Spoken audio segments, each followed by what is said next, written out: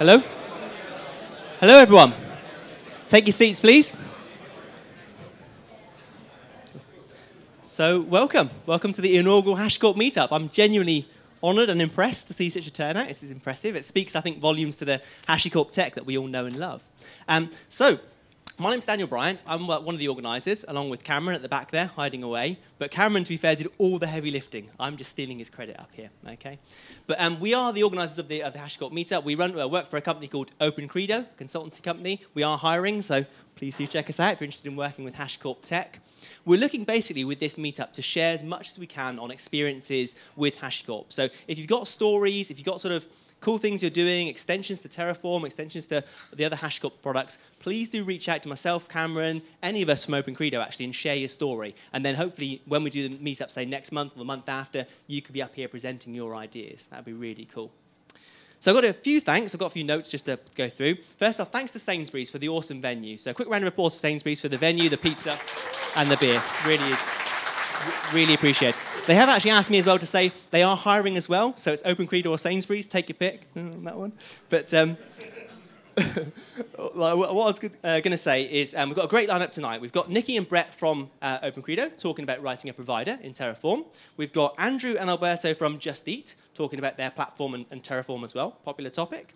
And of course, we're honoured for to, for, for, Mitchell, Mitchell Hashimoto. I don't know where you are, Mitchell. You're hidden away in the crowd somewhere. Back here. Awesome. The, the founder of, of co-founder of, of HashiCorp, to be presenting, talking about Nomad, which is truly an honour. I know Mitchell's flown in for QCon and also agreed to speak here, which is, is really awesome. Um, so I think that's pretty much it. The rough timing will be um, we're going to do a talk now, and then another talk straight away. We'll have a break for pizza, and I've been asked to say we can't eat pizza in here. Drinking beers, okay, but no pizza. So we'll go out 15 minutes, grab some pizza, eat, come back, but no food back in here, please, all right? Otherwise, we'll get told off and so forth. And then at 8 o'clock, we'll kick off with Mitchell's talk and end up the night around 8.45, 9 o'clock. So that's it. So without further ado, I'll introduce my colleague, Nicki, to talk.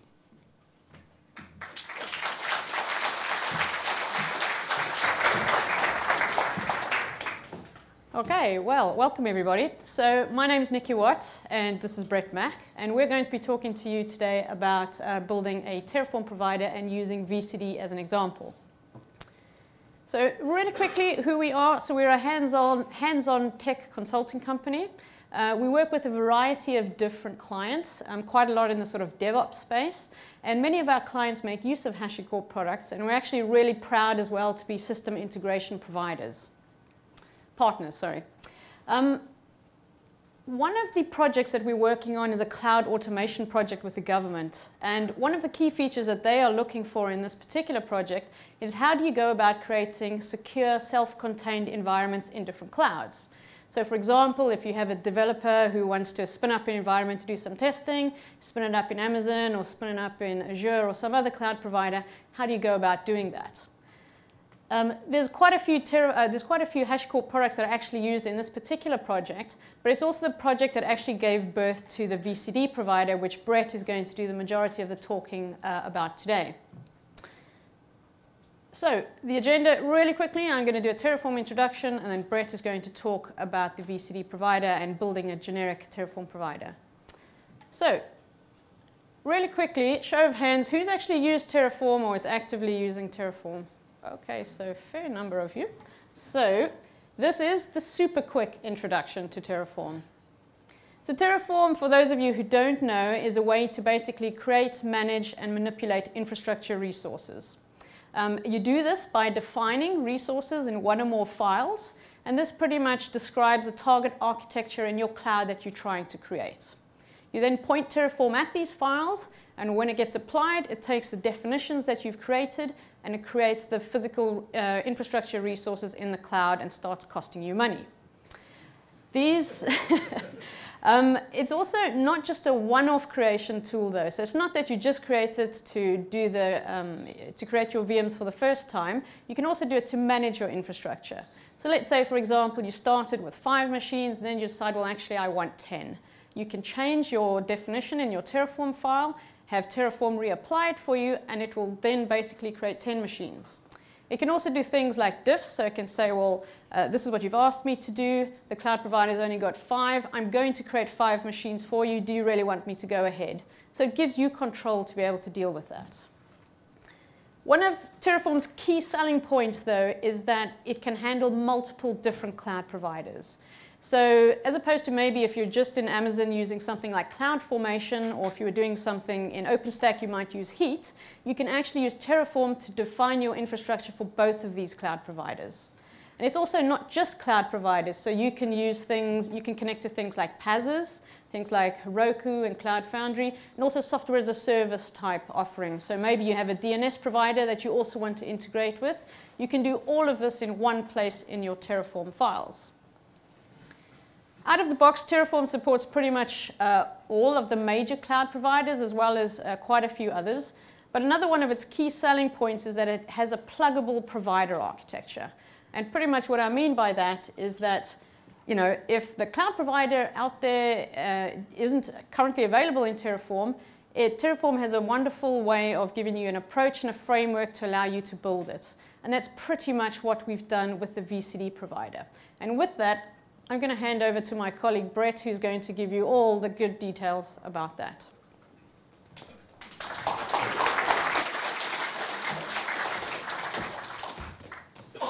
Thank you, Nicki. Is this on? Okay. So I'm going to speak about developing a Terraform provider. Um, and I'm going to use VCD uh, as my, my main point. So what is a provider plugin. Terraform is written in such a way that it's plugin centric. Every cloud provider that um, it will deal with is written as a plugin. This makes it really versatile and very easy to develop for. Some of the cloud providers currently, uh, sorry, some of the providers currently out there are listed here. Now this list has grown really, really quickly. Uh, when I was first working with Terraform, there was less than half. So chances are, if it's not supported, it will be very soon. This talk is going to mainly concentrate on the VMware vCloud Director, um, because we at OpenCredo wrote that. I think if I spoke about creating the AWS provider, Mitchell would have something to say. So the first thing you want to do when creating a Terraform provider is work out what it is you want to control. That seems really simple, but too often you go into something and you see everything that your cloud provider can support, and you try to, you try to implement it all. That's going to take ages. You're going to get bored. You're going to give up. Also, even if you only want to support a very few amount of features, your issue is not going to be unique to you. Lots of people are going to want to do the same thing. So if you can quickly get that out, other people will be happy, they'll be using what you've written. Also, you need to remember that open source community projects grow naturally. As soon as something is out there, people will contribute, people will work on top of what you've done. So in defining what we want to control, for us it was, I want to spin up some VMs, and I want to control what ports are available externally. So if this was Amazon, I'd be looking at an EC2 resource and um, a security group resource. However, in VCD, it was not quite that simple. So this is a, a typical vCloud Director architecture. You have the internet, and from there, the th first thing you come into is an edge gateway. Now, your hosting provider will give that to you. You can't control that. That's part of, part of what you're given. However, from there, things get routed to an internal network, rules are applied, and you finally get down to a VApp. So what we need to work on is this. So like I said, we wanted to create a VM. In vCloud Director, that's defined as a VApp. So EC2 would uh, be the same kind of thing. But when a VApp is created, it does not get an external IP address. That VApp cannot communicate with any other VApps, and it can't communicate with the internet. In order to do that, it needs to be connected to internal network. So that's another resource we need to write. Now, you're going to have multiple VApps all using the same external IP now. So in order to route things through to the right VApp, you need to create destination NAT. So now our two resources are now four resources. And lastly, for them to be able to connect outside to the internet, they need a source NAT. So our two resources are now five resources. Now we know what it is that we want to create, we need to look at core Terraform provider concepts. First of all, you create a file, a provider file. Now, this is going to be the core. Right here, you define what it how it is. You make an API connection to the hosting provider you want to work with. What resources this provider will support. And that brings us on to resources. So, like we said a minute ago, there are five resources we need to, need to work with. So we're going to have to create five separate files, five functions, and we need to put that in, say in the provider what they are. Now, once you have your provider and your resources, both of these are defined with schema. So schema is going to be your user-defined attributes that you you can accept, or maybe attributes uh, supplied back to you by your API. Once you have that, you wrap everything in a plugin. This is really easy with Terraform. It's three lines of code to wrap everything you have and create a binary. Now, it's important to remember that everything in Terraform is its own binary file. The way Terraform works with these binaries is if we look at our Terraform VM really small file, um, when it sees provider VCD, Terraform is going to launch the provider binary that you've created. When that binary launches, it's going to look at the preferred method of communication for the operating system it's running on. Now, on Windows, that's going to be opening a port and telling Terraform, you can communicate with me on this port. Uh, for Mac and Linux, you're going to get a domain socket. Once it's worked that out and opened that method of communication, it gives that info back to Terraform. And from then on, anytime a resource needs that binary, it will use the communication method given to it. So now we have the core concepts, and we know what we want to do. How do these map? So taking our diagram from earlier, we have a plugin. A plugin is going to be for vCloud Director, the whole thing. Resources are your individual uh, components, which you can control. And then your schema, a contract defining rules when interacting with these resources.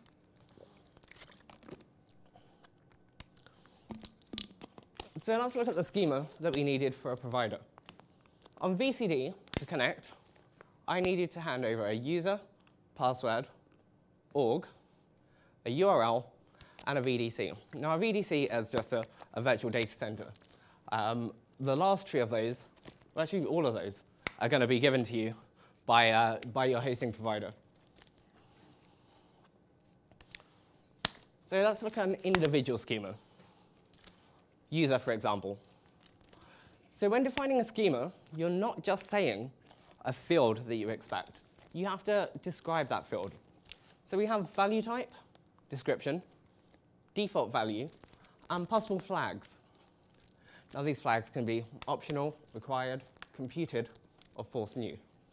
The last two are mainly going to be used for defining resource schema. Um, as computed means this is something that my hosting provider's API is going to give back to me. And force new says, if this changes, destroy what's there, create it again. It's not something that can be updated. So in the case of our user, we have value type as type string, description, VCD username, and required is true. We can't actually try to make a connection unless this has been provided. When looking at resources, as I described before, we want network, VApp, firewall rules, destination NAT, and source NAT. each of these resources, in, as well as having schema, will also define how they do standard CRUD operations. Each of these are required other than update. If you have defined your resource schema with every field being force new, you've said there's nothing that can be updated. So you don't need to provide an update function. But Terraform provides one more. Exists. Exists, exists allows you to check that what you're trying to create isn't already there on your, on your hosting provider. Because what you need to remember is Terraform may not be controlling every single resource you have in that hosting provider. People can create things manually, maybe you're using another tool to create them, and you don't want Terraform to, to try and overwrite that to fail with an error. So let's have a look at how we would define this in Go. So this is a provider, as we mentioned earlier. You have a string of schema, and here we show user, password. Once again, both of them are of type string. They're both required. And we have a short description. After schema, you create a resources map. So these are the resources that this provider should handle. It's a standard map with a string and then the function that we're going to call if this resource is used. Some of the issues you may encounter when writing this is not every hosting provider will have a standard REST uh, API you may have things that you can't update, um, which was actually our case. So we were trying to work with firewall rules, um, and VCD allows you to create, delete, nothing else. If you try to, if you try to update, it's just going to recreate. One of the things you need to remember here is this is all written in Go. This is a really, really good programming language. If you need to do extra logic, manipulation, you can do that before you send anything onto your cloud provider. In conclusion, writing a Terraform provider is really simple. The framework is there. Everything is well documented, and there's already lots of community code. It's very easy to read through. Also, don't let Go put you off. Even if you're not a Go developer, it's very, very easy to, to pick up and very hard to master. Uh, and also, the, the community support is great. As soon as you get something out there, you're going to have people helping you, working with you. Um, and the HashiCorp guys gave me so much guidance when I first issued my pull request, so thank you. Are there any questions?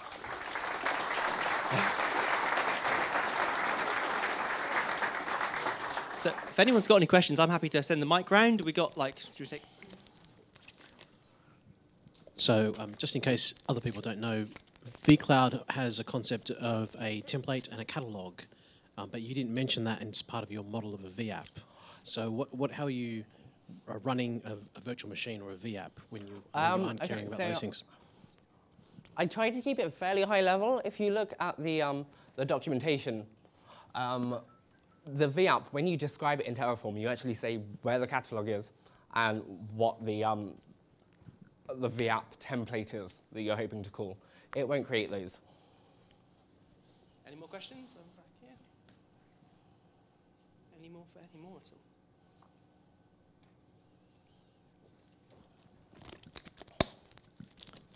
Great talk. Um, how do you go about testing your provider plugin? Good question. Um, Terraform makes it quite easy uh, to test um, your Terraform provider what you would write, you don't actually write unit tests. Everything is an acceptance test. Um, and they have provided a really good framework for doing that. So one of the things you do when you write your provider plugin is you allow a default function to get your values.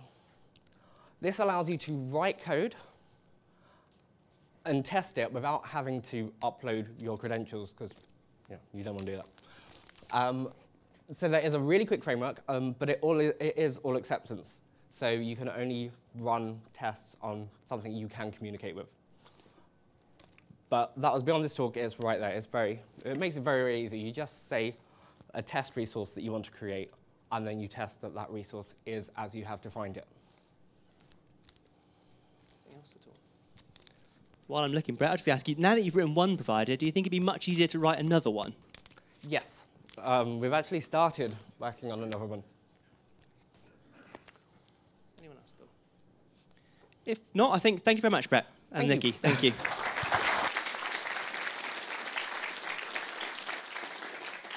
So, excuse a short pause now while we get the um, guys from Just Eat mic'd up and change the video and stuff. So feel free. If you do want to go to the toilet, it is out. Uh, gents, I believe, is to the uh, left, I think, and ladies to the right. Yeah, if you are, uh, want a quick break.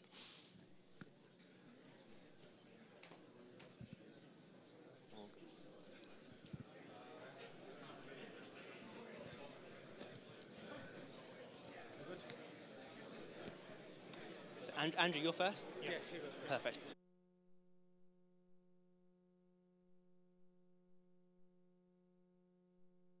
Is that all right?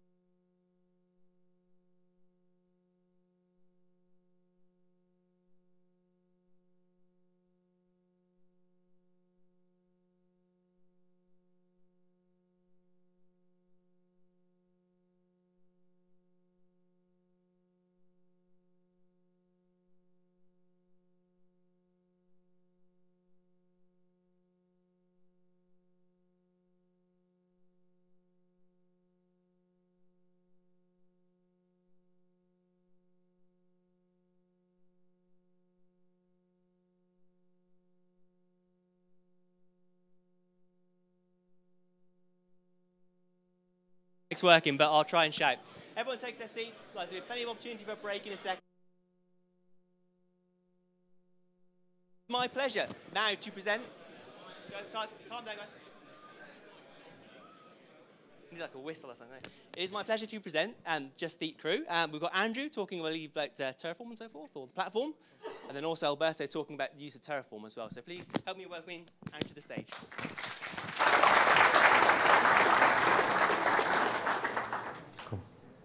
Thanks, everyone. Um, hear myself, so I must be working. Um, so, HashiCorp at Just Eat. Uh, my name's Andrew, Senior Platform Engineer working in the Platform Engineering team. Um, so this talk will consist of two parts. One for myself about the core platform, about how we started to use Consul and Packer, and then uh, followed by Alberto, who works in the acquired platforms team, who started to use Terraform and Vagrant. So just Eat. So hopefully some of you have heard of us. Maybe. Cool. So today is actually the 10th anniversary of Just Eat started in the UK. So we've been around for 10 years apparently. Um, it's come a long way in those 10 years. And uh, yeah, so we now operate in 13 markets around the globe. And uh, I've been told I can say this. Uh, so on average, we can process 2,500 orders per minute which uh, is a lot of food, I think. Um, so one of the main factors of Just Eat is that we need to get our site needs to be responsive and get the food to our customers. uh, when they want it. Um, no one wants cold food, no one wants it an hour late. So we need a platform that is resilient uh, and scalable. So about four years ago, slightly before my time, um, Just decided to migrate to AWS, so Amazon Web Services. Um, I think this is a decision that they very glad they took, and it's allowed them to expand over those uh, following four years um, to the point now where we run um, hundreds of instances uh, at peak. So we have a lot of daily scaling to match demand. People tend to like to eat at certain times of the day, and then we have to react to that and make sure we have enough uh, capacity for that. And one of, the, one of the decisions that they took was to heavily use uh, CloudFormation. So hopefully some of you are aware of AWS and CloudFormation. Um, just allows you to uh, basically script out uh, an entire feature, uh, how you want it to deploy, all of the resources. Um, and we actually do this for every feature for Just Eat. Um, so AWS setup, we have lots of AWS accounts. Um, we have multiple production, multiple QA accounts.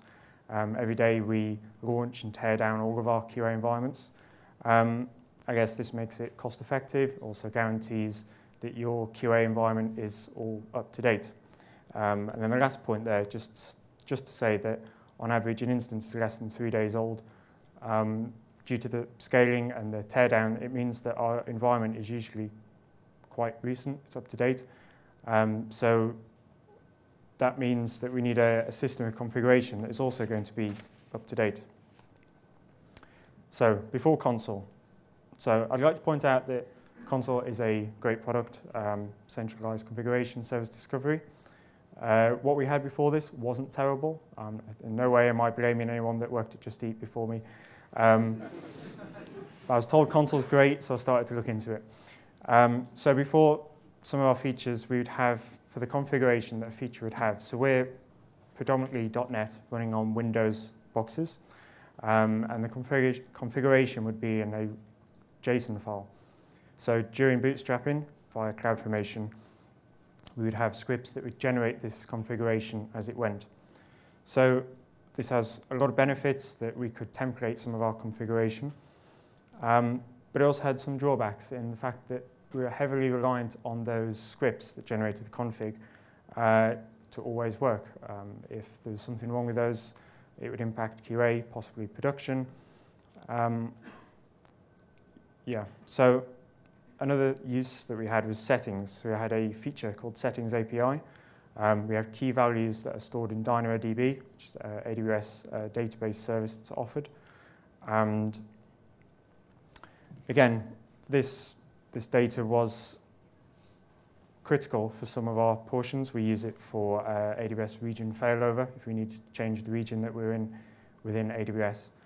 And I think although it is working very well, um, it requires a task that goes along and says, what's your latest value? What's your latest value? Has it changed? And from a configuration point of view, not ideal. And service discovery. So I've put a slight question mark at the end of that because we don't really discover services so much. We have, uh, using Route 53 in AWS, we advertise a DNS endpoint, which points to the elastic load balancer that all of our instances, for elastic load balancer per feature, the instances for the feature sit behind it, and then route traffic to it. Um, I guess one of the main drawbacks of this is we need a health check to ensure that instance stays within the ELB. That health check is quite generic, um, doesn't really tell us much about what's going on. Um, yeah, and a few hard-coded IPs, which are not great, especially in the cloud. Um, so we started moving to Consul in late 2015, so we're probably quite late adopters to a lot of the people in the room. Um, so we set it up with a Consul cluster per environment. Um, we did this, I think, yeah, seemed like the right thing to do. Uh, so we have all of our JSON config is now stored in GitHub, as it was before, but it's in a heavily templated format.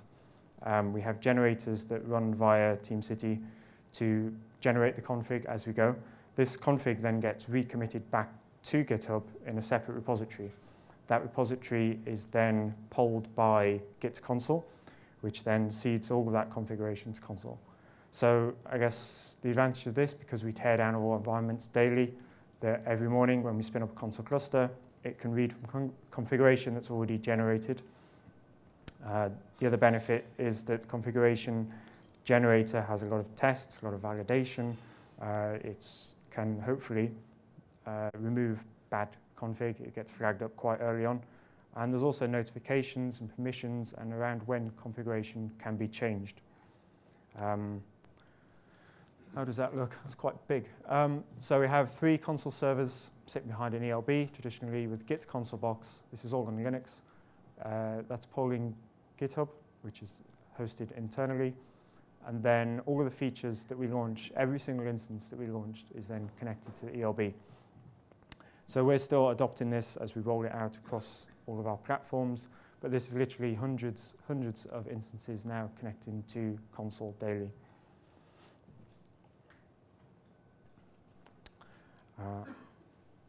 And then just an example, as I'm sure you're aware, uh, key value storage, just some of the kind of points that we have. So every single agent, uh, every single instance runs Consul agent, then takes a local copy of all the key values, um, which you can then store and access to generate the config. So now that we've introduced Consul, every instance gets launched, joins Consul cluster for its environment. Uh, this is all during the deployment steps. Um, advertises its uh, service that it's running. Uh, the service at the moment is just the health check and the Consul check itself, uh, but we have plans to uh, increase the, the awareness of all the service discovery portions of Consul. Um, and we also have Consul template, so this runs on the box that registers, uh, watches the key values, and then generates the, the, the web config, the app config, some connection strings. Um, the benefits of this, so now we no longer have to cycle instances to change configuration. So before it was generated during deployment, all of the config was held within the package. Um, if we needed to change those values, we'd have to change it in source control, generate another package, make a release, cycle the instances. Seems a lot of work just to change some config values. Um, so I put in there seconds versus minutes because that is literally just change what's in source control, generator runs, commits it back to GitHub, seeds it to Consul, and existing instances will then get the latest configuration. Um, I think this is quite a, uh, a big change for how we manage configuration and it will give us a lot more opportunity to, to change those settings. Uh, other benefits of Consul, cons consistent config. Um, yeah, you make a change, it, it, immediately gets rolled out to, to Consul and all instances then pick that up. Um, there's no more sort of half and half. If we did a release and we scaled up, you'd have half on some values, uh, the old data, some on the new data. So this, this is consistent. You make a change and, and it sticks. And, uh, and then, of course, there's the UI, which is okay. Uh, the UI is it's clear, it's informative, um, it gives a, a, great view of platform health, uh, the overview, uh, and of course the option to drill into the services and actually see what's going on with those instances. Uh, you can do this via AWS, but I don't think it's, uh, it's as informative or clear. So another use that we've found for Consul is another Consul cluster. So we've kind of called it the platform Consul cluster. So this is holding all of the metadata within uh, Just Eat. So the metadata is generated in a similar method. We have JSON files with uh, templated with overrides for environments. The data gets generated, committed to the repo, which is then seeded to Consul. So this is so I put powering other tools in Just Eat. So this is now becoming the source of truth. Um, we have many formats and many sources at the moment, uh, which isn't always good. And we're building on this to try and get as much data in there as possible. Um, we have a, a, NuGet package that instances get deployed with that then ha have access to this. Um, so there's a little bit less um, of trying to work out where data is. And it also keeps all the data up to date. If you need to make a change, uh, an example would be you need to add a new environment, you add it to the metadata, and then all the other features will then start generating configuration for that environment automatically. So it's, um, yeah, it's working out. And finally, Packer. So I've only given Packer one slide. Um, it probably deserves more than that. It's a fantastic tool. Um, yeah, so we've, it has all of our dependencies pre-installed. Um, and because of that, it's allowed us to reduce our cloud formation. So we have lots of cloud formation, a lot of it templated, but we have a lot of features that don't always conform. Um, for example, the most recent feature that we've baked, um, we removed just over 500 lines of JSON, uh, which is pretty good. Um, I mean, the, the, benefits we have now of baking AMIs is that the deployment time is significantly reduced because we no longer have to go out and get all of the dependencies, download them. There's no issues around uh, rate limiting. Because we launch so many instances at once, are we uh, hitting the same bucket? Um, all of those problems have gone away. Um, it also gives an extra level of validation of our AMIs. We can iterate and make small changes, and this has allowed us to work faster. And we also, I think, used to have compliance on there. So compliance, we know exactly what's running on all of our AMIs now. It's no longer this AMI works with this feature, can you share it with all these accounts? It's like we can generate these from scratch repeatedly, consistently. Um, I think this made a big change to Just Eat.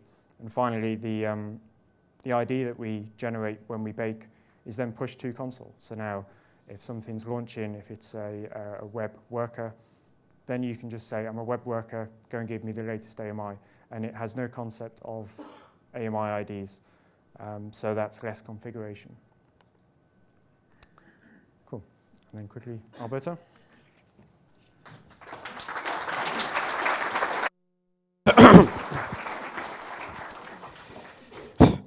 Hello. Sorry. Hello, everybody. Um, uh, my name is Alberto. Um, yeah, we work for, uh, for Just Eat. Uh, Andy has did a great introduction for Just Eat. Uh, my department is Acquired Platforms. So, um, yeah, um, Acquired Platforms, what we do in Acquired Platforms. Yeah, you may, you, you, are right. Yeah, we correct. We acquire platforms. Uh, absolutely. And of course, we, we also uh, look after them too. So um, in our daily, in our work, we can handle, yeah, all this, all this thing. So when we acquire a platform, we AWS, obviously, Azure, all, all this. This. So we, we decided we don't want to be tied to a, a specific cloud provider. So you, you guess what's our preferred tool from HashiCorp, of course. Yeah, that's Terraform, yeah. so um, also, we use Vagrant and Consul in a, in a mm, less, yes, a, a, more or less background. Basically, to we want to create the environment for our developers to run and to develop locally, and Consul basically for config. Uh, we, we, can use we, we, we can use it for uh, service discovery and other, but basically mostly for config for configuration and config propagation. Uh, that's right. So what I'm, I'm here basically to, to to tell here some stories and use cases ab about uh, what we like at Terraform and, uh, and, and, why we are interested, so, so much interested in it. So this is what we value uh, most from Terraform. Of course, we, we provide us an abstraction layer for us. So we, we don't carry the infrastructure. We don't go to the console and look for the data. We rely on, on Terraform in doing that. Carry, uh, uh, Terraform will carry the infrastructure for us. Um, uh, obviously, we, we version the infrastructure, which is a very great, as you may think, we, when we acquire a platform, there's no uh, cloud formation. Probably we acquire an AWS one, there's no cloud formation at all, and we want to version it. And that's very good. So we, we, cannot, we cannot go and even cloud agnostic. So that's a common language also for describe all our resources. This, uh, that's uh, very good. So we speak the same language. And also we let Terraform do its job in this life cycle when we deploy, which is, um, yeah, we, we, man, um, we can do also with Terraform's rollbacks and be safe, stay in the safe side. Uh, also the dependency resolution um, in all the, the very big um, uh, schema, so we don't care about who goes first. Terraform will take care of all of that. So in acquired platforms, uh, we, we acquire, we start from scratch normally. So you may think that we acquire a platform and that's brownfield. So you, you, are, you are having something done. Yeah, but we want to improve it. We want to make it scalable. We want to make it better. So we, we want to keep releasing features. So that's in, uh, I, will, I would say that's greenfield. So we, we have to, in a brownfield, you have to, uh, you have to grow flowers, basically. And um, so we care about the three S's in a, in a core platform team. We care about the stability, scalability, and security of the platform. And of, obviously in the cloud. And we want to keep releasing. We want to keep releasing features. We want to monitor them properly. So what we can, we, we needed something in place. We need, obviously, we need something that we can put in there and we can, our developers in that platform, we can deploy things easily. And it's, we wouldn't want to reinvent the wheel in every platform, regardless the cloud, from the cloud provider we have. Regardless, that's the, our decision. Our decision. We, decided we don't want to go to be tied to Azure, AWS, or DigitalOcean. So we need, we need a, a easy reproducible pipeline uh, as much as, as much cloud agnostic as we can using Terraform as the base. Okay, we are tied in acquired platforms. We are tied to the technology of the platform, not for the cloud provider. So we want to be able even to replicate to other providers. So yeah, here we go. So, so some of the list of the things: PHP, Java, um, Go, of course, um, some Node, uh, Apache Nginx, uh, all the usual um, monitoring stuff, ELKs, uh, um, Loggly, that's right, some Sensu, New Relic for monitoring. So we want to keep this in place. So uh, what we did, uh, what we have in place is a, pipeline and how we deal with it.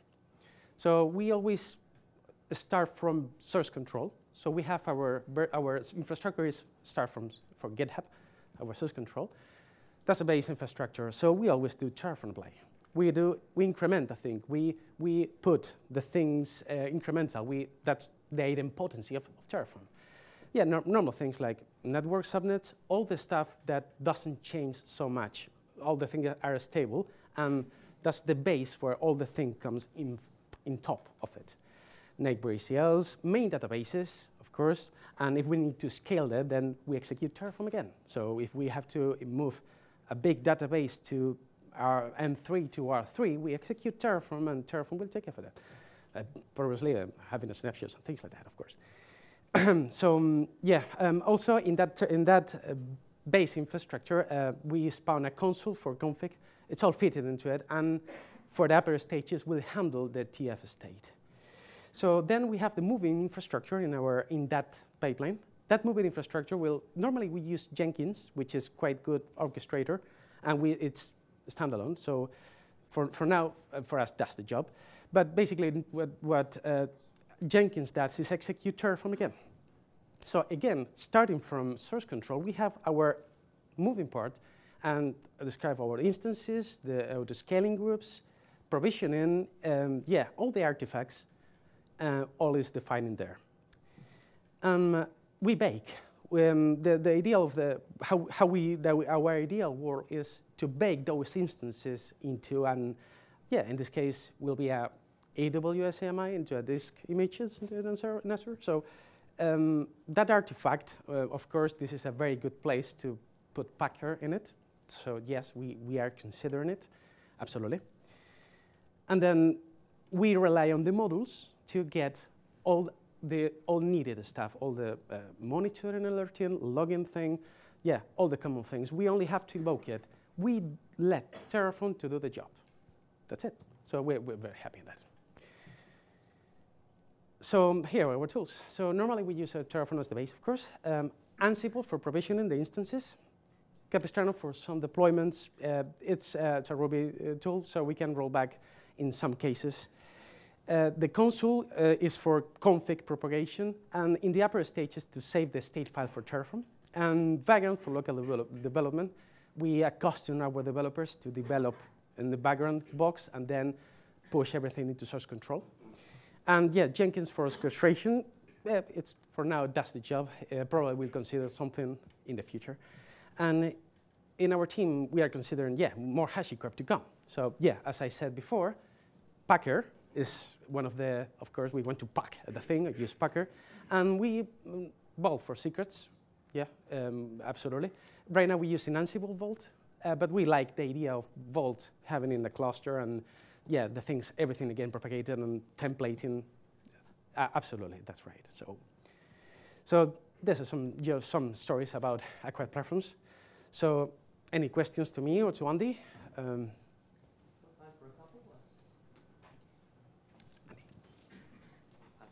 That's all right. I mean, Andy, this is more directed at you, I think. You mentioned Vault in your second talk, but you said you mainly use Consul for configuration. Um, was it a conscious choice not to use Vault? Because obviously it offers a lot more insecurity than Consul does. Um, so it wasn't a conscious choice not to use it. Um, we're still in the early days of adoption for Consul. Um, uh, yeah, we will be moving to Vault, absolutely. Um, that's a question for Alberto. Um, about the TF state, you mentioned that you are using Consul instead of S3. What were the benefits on that? Because effectively you are, on S3 you don't need, don't need to care about the backing it up, I guess. yeah. And then with Consul you need to back up Zookeeper, I guess, and I know so etcd and, and well the Consul storage system. Yeah. Um, well, the, thing is, so, um, I, I saw this is very easy to configure as the same in S3. Uh, currently, not a bunch as more especially. Um, the thing is, uh, it's all fitted in the same infrastructure. Uh, we usually, uh, before using S3 bucket, does the job again.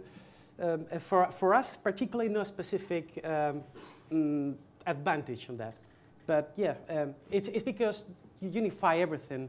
Everything looks into Consul for configuration and for handling things. Basically, more for unifying. Final question. I saw the back there.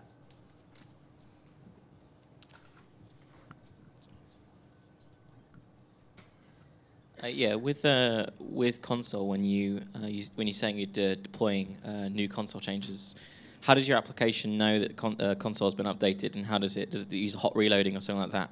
How does it um, without doing a new deployment? Uh, so using Consul template, which so the Consul template is then fixated on the, the key values, which then will uh, update the web and app config. So, Okay, but how do, so does the application know that a change has happened and then reloads with the new config? uh, no, they don't. So they'll just carry on and just use the latest version. Right. Okay. Right, I think that's all we've got time for. Please join me in thanking uh, Andrew and Alberto for a great talk there. it, it, it, it, go, it does go without saying that everyone is hiring here tonight, pretty much, yeah? Uh, so anyway, uh, Cameron's just informed me. Um, please go have some pizza, have some beers, have some chat. Uh, back in here at 10.